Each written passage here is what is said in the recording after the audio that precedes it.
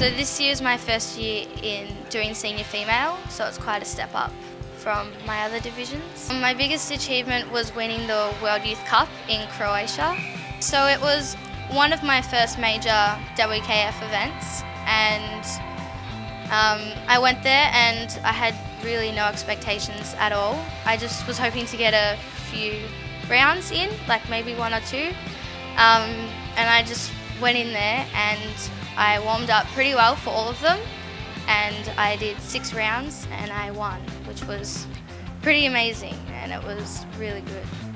For this year, I would like to represent Australia at the Junior Worlds again, and then looking forwards in the far future, um, the Senior World Championships, as I've always seen that as the pinnacle of karate.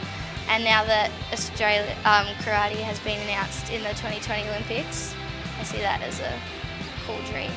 Yeah, it was really exciting because there's never been really anything like that to aim for. It's always been World Championships and that's it. So now there's a couple. It'd be awesome, like a step above every other international thing as well, because be on TV possibly as well. Both my sisters did it, like a, a pretty high level national team. So, and I grew up watching them, so I wanted to do it like them as well. I just love how it makes me feel personally as an athlete, how it's given me mainly the confidence and discipline, um, not only in the sport, but to relay it outside in all areas of my life.